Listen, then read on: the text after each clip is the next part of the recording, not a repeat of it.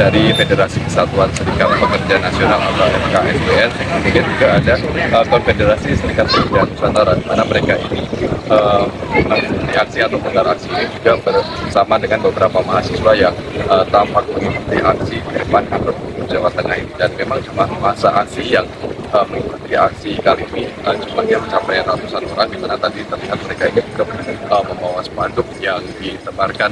Di mana berisi beberapa pesan atau tuntutan untuk uh, kesejahteraan selain itu juga tampak juga ada mobil komando yang digunakan oleh uh, para pekerja atau para uh, buruh yang ikut aksi massa pada siang hari ini.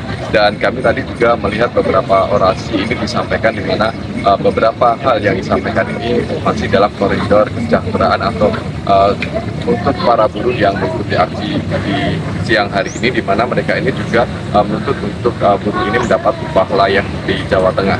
Thank you for watching.